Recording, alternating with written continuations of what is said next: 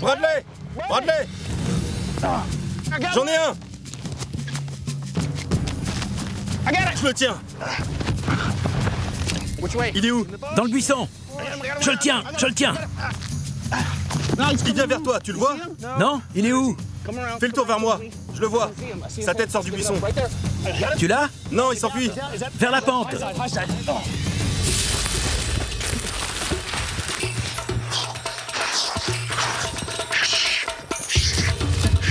Il est là. Où Avance, avance. Il est dans ses branchages, en dessous. Mince. Allez, quoi. Ça là, c'est quoi Juste ici, là, juste là. Ce n'est que des plantes. Allez, quoi Sérieux. Il est passé à côté de toi. Le v'là, le v'là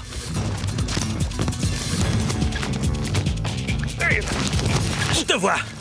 Je l'ai Tu l'as vraiment attrapé? Il est dans mon chapeau. Il est dans le chapeau. Regarde-moi ses cornes. C'est pour ça qu'il est le roi des phrinosomes. Oui, on tient le roi des dragons.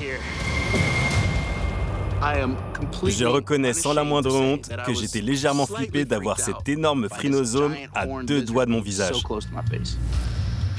On dirait un char blindé méchamment redoutable. Ces cornes ne sont pas là pour faire joli. On dirait qu'elles sont capables de tout transpercer. En gros, cet animal est un monstre. Il est remarquable, avec des motifs sublimes sur la peau pour se camoufler facilement. Il est carrément invisible. Regarde comme il a l'air digne. Quelle beauté sauvage. On le rapporte à la tente. Oui, je veux l'étudier. Maintenant, on s'apprête à faire quelque chose d'unique. On va emporter ce petit lézard dans notre laboratoire mobile et grâce à du matériel scientifique capable de fonctionner dans des conditions particulièrement hostiles, on va tester une bonne fois pour toutes ses super pouvoirs et ses aptitudes exceptionnelles. La force de perforation de ses huit cornes, la puissance de sa langue incroyablement rapide et la portée de son jet de sang toxique. Évidemment, il faut qu'on pratique ces expériences sans perdre de temps pour remettre notre petit cobaye dans son habitat naturel le plus vite possible.